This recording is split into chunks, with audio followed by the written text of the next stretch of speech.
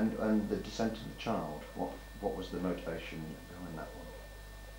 I mean, I, I, I, again, I think that's a really great book because Yeah. it, you, you, like, you know, all the time, the, the, the evolution that you read in schools is from the male adult point of Yes, view. that's right. And you'd covered it from the female point of view, Yes. and now from the child point of view. And I, Yes. and I thought that was a, revelation to, to was- think of it from that. It was it was one that I felt I'd shortchanged. I mean, I'd, I'd come in on the woman's side, but I I hadn't given enough attention to the child side. And um, there are there were one or two books which had tried to look at things that way, but they were, you know, sort of decades old and people had forgotten them and nobody had ever taken it on board. So I picked up that approach and said, well, supposing you look at it from here, because after all, if, if the baby doesn't survive, survives. Absolutely, and the, the, the percentage deaths per year is going to be much Mm. higher to younger, Yeah. younger age, I wouldn't imagine. And the, the business of the fat in the baby, like is shown very well in that documentary, It's Yeah. a really key point, isn't it? It is a key point. Okay, and then the, the aquatic ape hypothesis, which was your last book, Yes. um, from reading, you know, your, you know, the, the, the preamble to the book, that presumably that was kind of a response to scientific critique of books. Yes, by then I felt, well, they've had long enough now. And it's no good them pretending that it hasn't happened or that they haven't heard of it. They're obviously being made a bit uncomfortable by it. And if they had any anything that would sort of slam it down, you would think by now. I mean, my, my books were selling all right. If anybody had written a, a popular book of the same, you know, addressed to the same market, saying, this is why the aquatic ape is rubbish. I mean, they could think of a better title than that. But, I mean, it would have sold at least as well as my books were selling Mm. and it might have sold better because all the professors would have recommended it, you know, when their students say, why can't we believe it? Or go away and read so-and-so. Um, but, I mean, I got the impression that, there were, there were programs on the television, there was a whole series called Controversy, or Controversy, however you like it. But, and it dealt with a lot of things which were, I mean, science was arguing about. This would have seemed the perfect one, but it never, it never happened. I mean, they had von Daniken.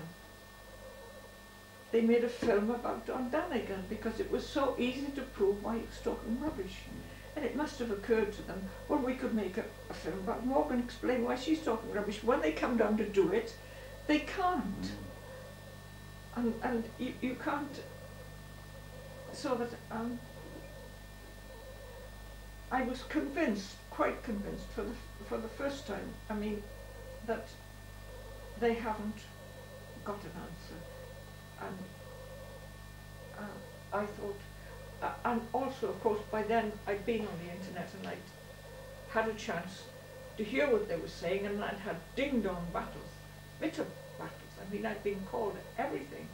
It was not only that they were trying to prove I was wrong, they were trying to prove I was weaselly and malicious and deliberately lying and all the rest And of who, it. who were the people that were writing this? I mean, were these actual? Because I mean, uh, when I first got onto the science Yeah. anthropology uh, Yeah. forums, I was under the illusion that a lot of the people writing there were professors and doctors, but in Yeah. fact, a lot of them are lay people, aren't they? A lot of Malay people. But did you actually get sort of nasty or whatever, you know, di-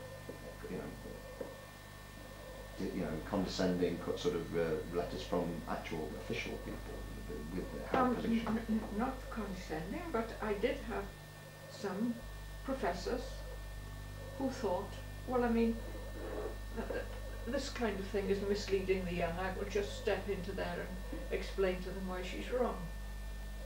And then I would answer, and it didn't seem to be so easy to why I was wrong, so that some of them were actual professors and big names in the field. Have you ever, uh, did, did you keep any of those responses? Did you print them off at all?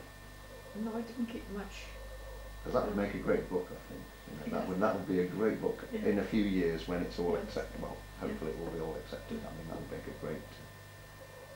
They, they, they, I mean, one sort of line was, uh, uh, this woman doesn't realise that none of us believe in her, you know, so they kept on saying, he doesn't believe, trying to explain to me all the weights of the numbers of people that don't believe.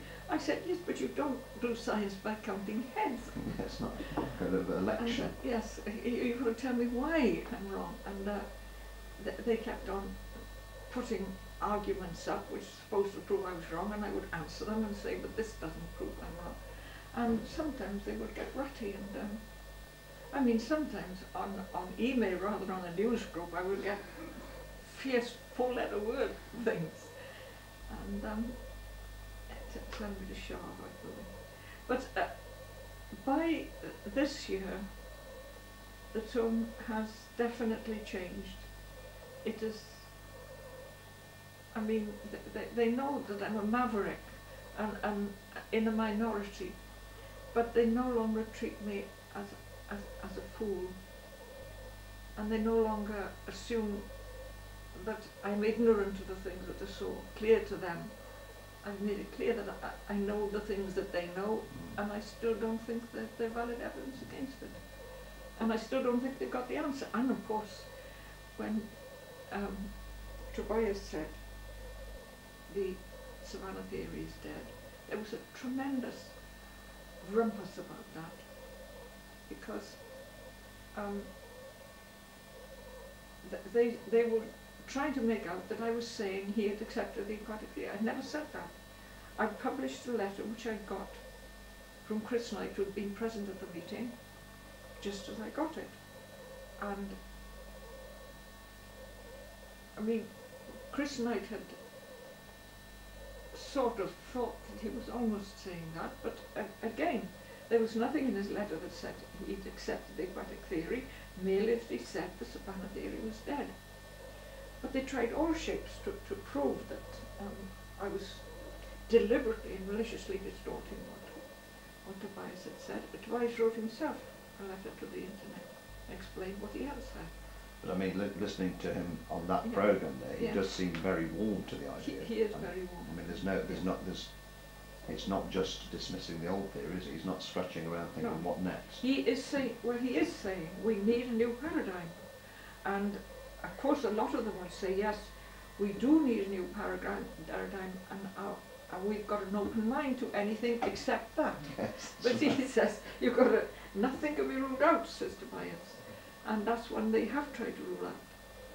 Yes, that's, that's right. Just just repackage it. Because it's called the uh, what do they call it now? The uh, what's the what's the term they use? Not the Savannah theory, but the uh, mosaic theory. Mosaic theory, yes.